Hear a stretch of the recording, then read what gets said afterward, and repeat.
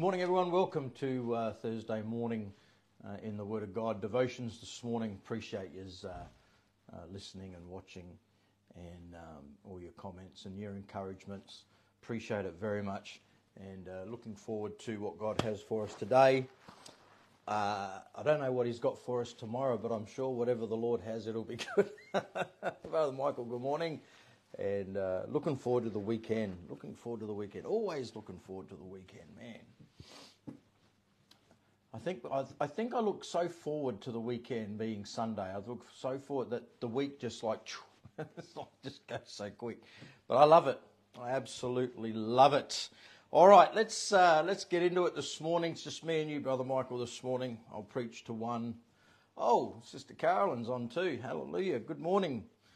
Um, praise the Lord. Let's go to uh, let's go to Mark chapter six this morning. Yes, I know. Yesterday I said it was the last time, but I do read other places in the Bible. I promise. I do. I do read in other places, but the other day when I was, because I'm reading through the Gospel of Mark, and I like to take my time in the Gospels, and I, I was reading, um, you know, five and six. Oh, this is going back the other day, and God just sort of gives me stuff, you know what I mean? And I just, I got to share it. I can't not share it, so I've got to share it. So we're in Mark chapter six this morning again. I don't know where I'll be tomorrow. Tracy, good morning. Um, I don't think, now I don't hold me to it, but I don't think we'll be in Mark chapter 6 tomorrow. Uh, let's have a look at Mark 6.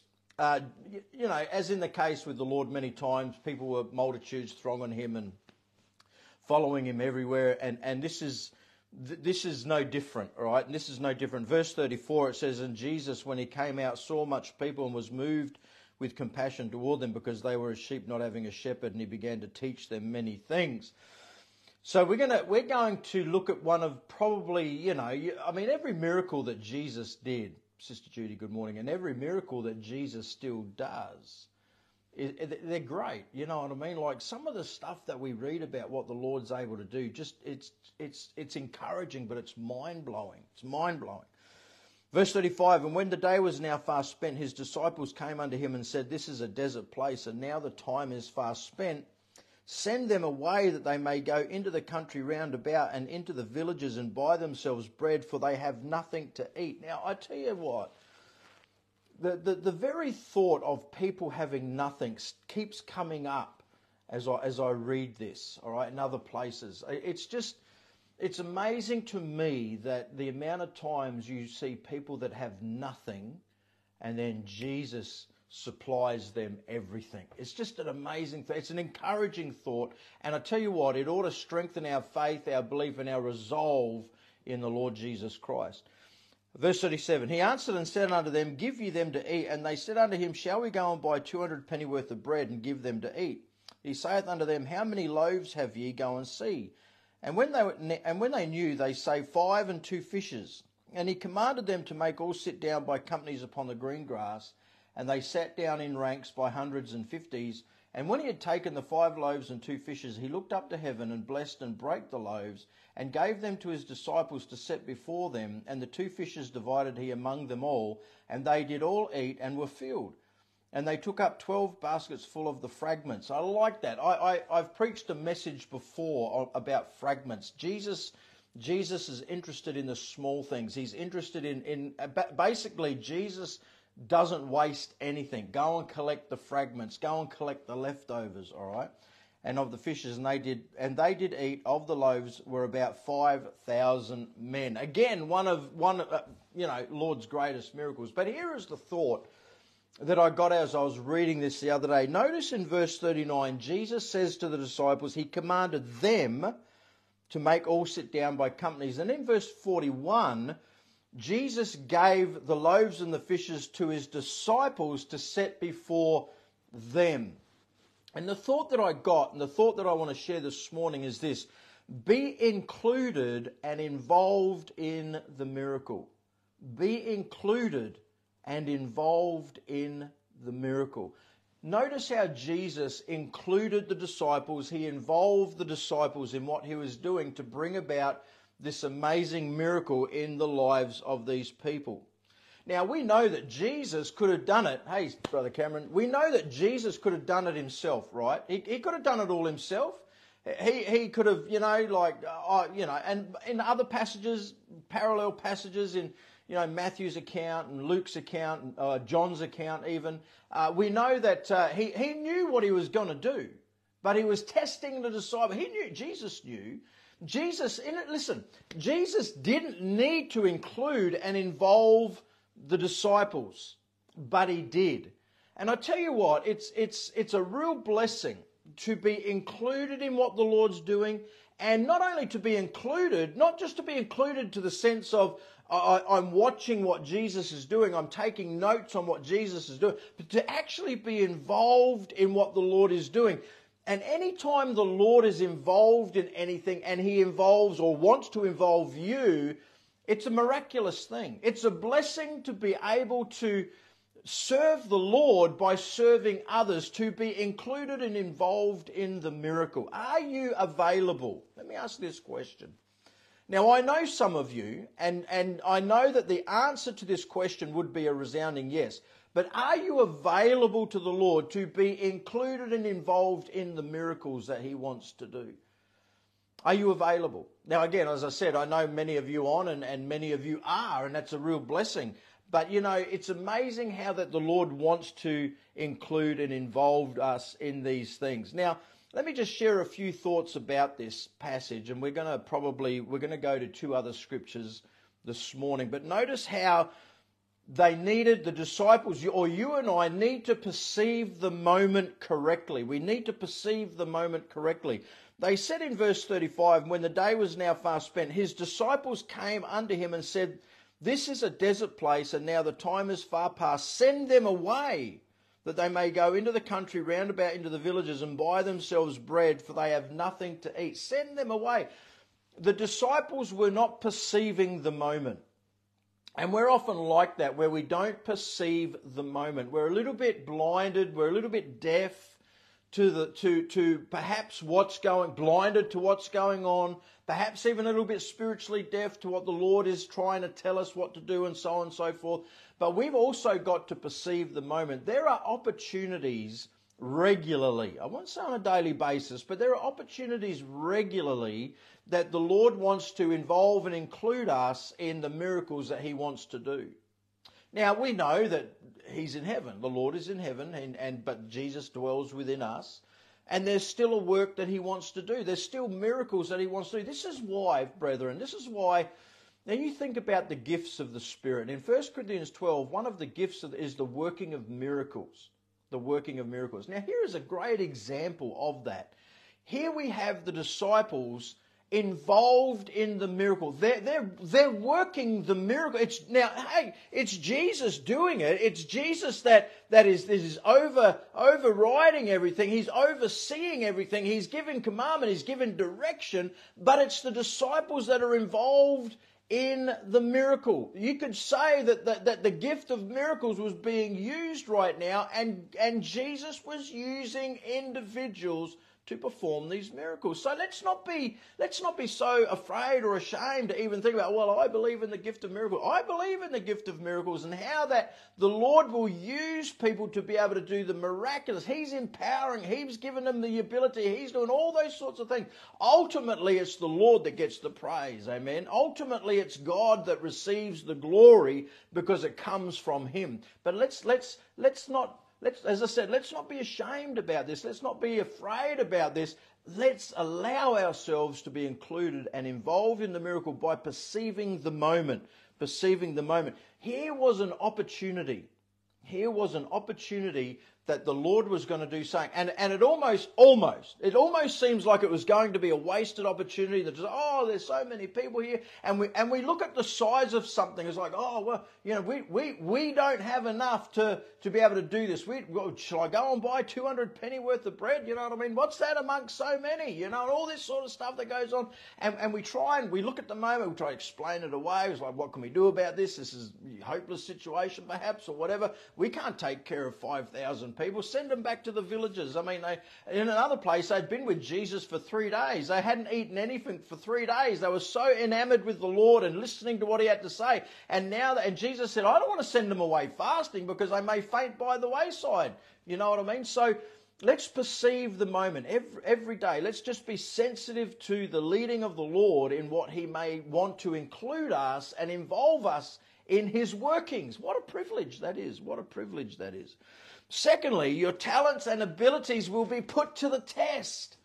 Your talents and abilities will be put to the test. Now, when I say your abilities, it's like here's a challenge now. Here's a challenge to your faith. Here's a challenge to, to what you have. Look at what he says, verse 37. He answered and said unto them, Give ye them to eat. What? I don't have enough to feed.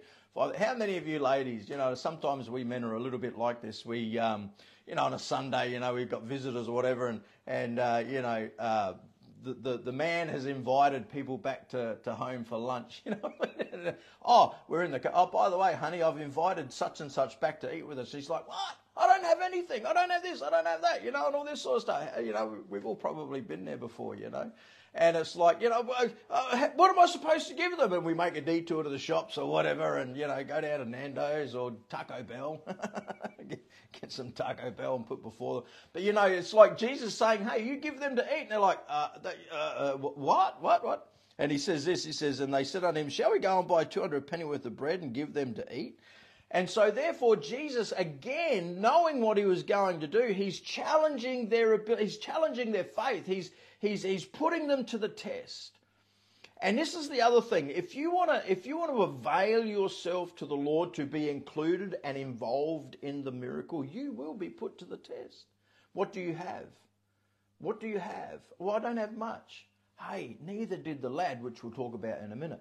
Five loaves and two fishes amongst 5,000 people? That doesn't add up. The math doesn't add up, right? The science doesn't add up. But you know what? Jesus knows what he's doing, but he's going to put you to the test.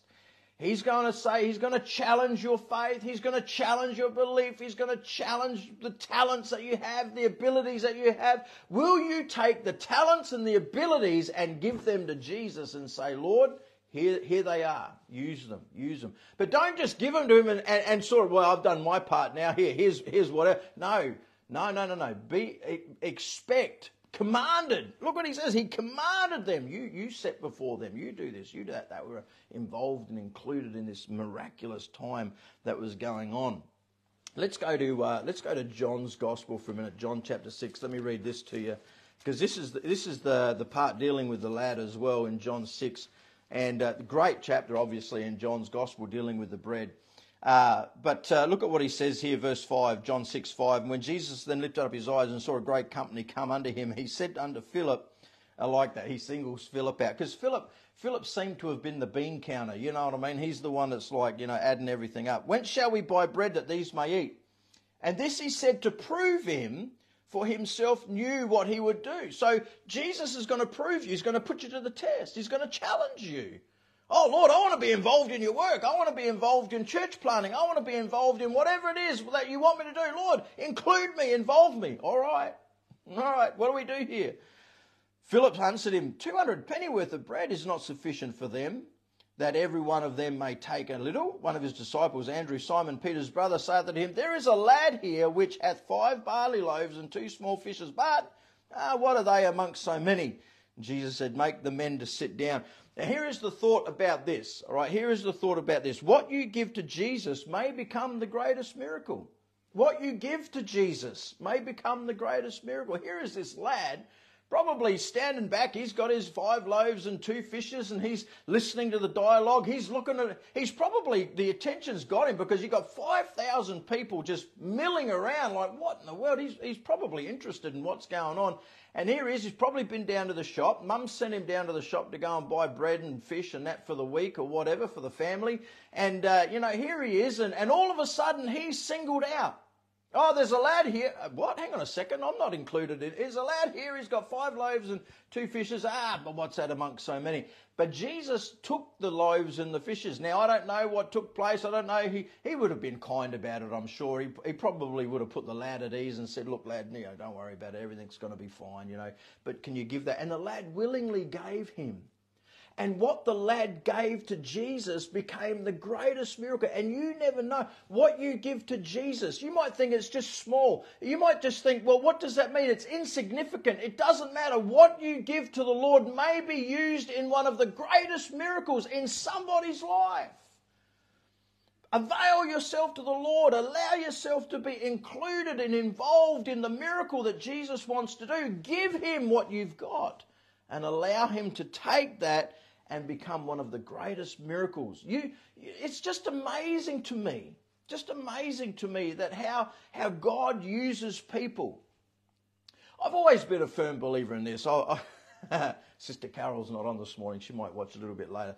Um, you know, she's a blessing, and and uh, the, the the older lady, you know, Paul, I think Paul told Titus, you know, treat the older ladies as your mothers, and we ought to give respect to our sisters. They're like, you know, sisters in Christ. And treat them like our sisters and mothers and that. And um, uh, after about lunchtime on Sunday, you know, she had a, and I told her this, and she she'll be fine with this um, you know, she, she, she gave me a little bit of a, a loving, loving bit. Why didn't you let me know about your need? Why didn't you let me know about this? And that's very kind, all right, very kind. Why didn't you let me know? Well, I've always, I've always been someone that if I have a need or if I have a thing, I take it to the Lord. And if I, if I give it to the Lord, then, then the Lord will put on the heart of somebody whatever. And, and, and you ought to do the same too. You, you've got needs. Everybody's got needs.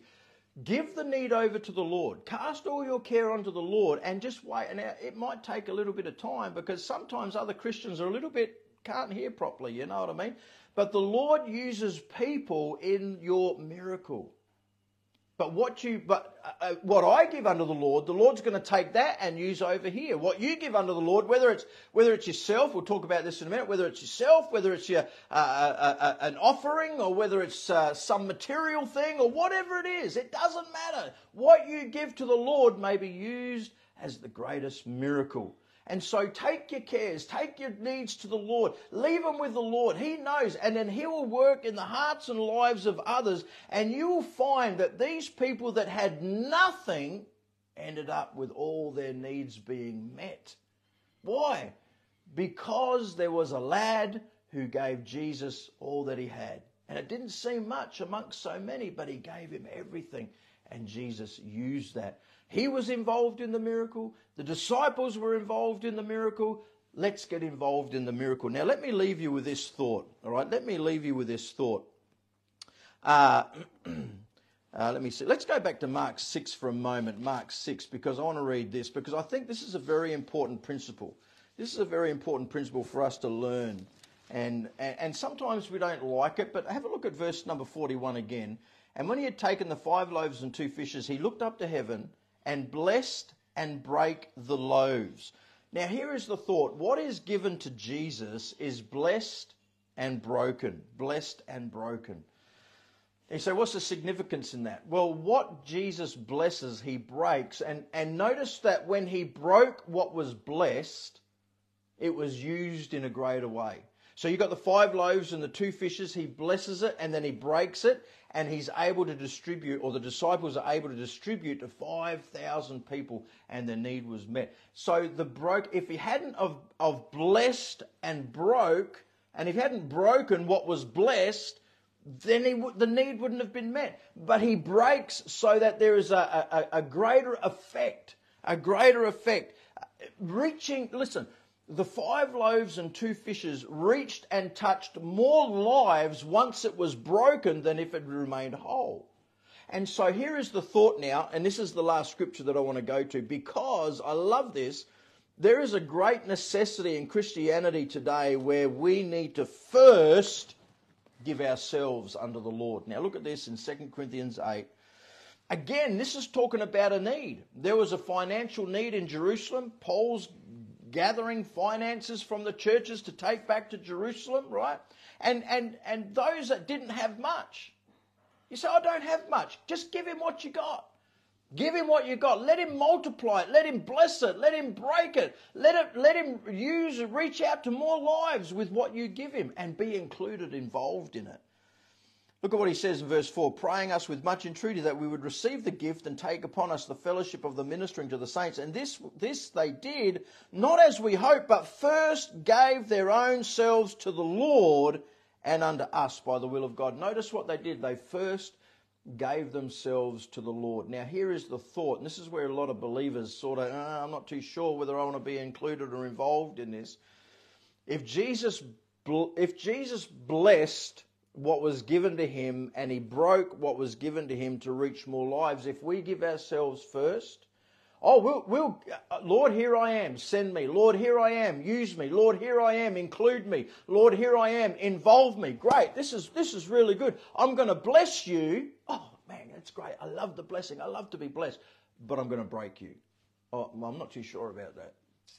I'm not too sure about that. Listen, if we want to be effective in the miracle, if we want to be effective in the lives of other people, if we want to be effective in the day in which we live, first give yourself to the Lord. Let Him bless what is given. You give yourself a living sacrifice under the Lord. If you give yourself a living sacrifice, you can't take that back. Lord, I'm yours. Here am I. Good. I'm going to bless that. I love the blessing, but I'm going to break it. Not, not in a nasty way, but He's going to break us to the point where He can greatly use us and be more effective. If we want to be involved and included in the miracle, then we give him what we got. And someone might say, Well, all I've got is me. Give yourself to the Lord.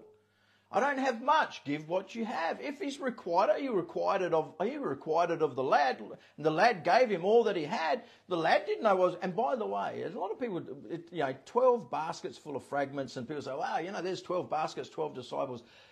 I don't think the lad went home empty handed. I think the lad went home like, Mom, Mom, let me tell you what I saw today. Let me tell you what happened today, man. I had these five loaves and two fishes, and there was this guy, Jesus, he took them off of me. And, and, and she's like, Well, where are they? Where did you bring anything home? And I'm, I'm sure he would have had something. I don't know what, but Jesus wouldn't have sent him home empty handed. And that's the thing. Sometimes we think, I'm going to give myself to you, Lord, and we think that we're just going to be left with nothing. Listen, Jesus loves to take the nothing that you have, and you got nothing. Uh, here I am, Lord. Good. I'll bless it. I'll break it so I can greatly use it. Amen. Be included and involved in the miracle. It's great. It's exciting. Anyway, I better shut up. Let's have a word of prayer. Father, we love you. We thank you for your goodness and blessing to us, Lord. Thank you for these amazing accounts in the scripture. And uh, Lord, they're there for our learning. And uh, Lord, Lord, even today, even today, I don't know what others are going to pray, but even today, may we just say, Lord, here am I.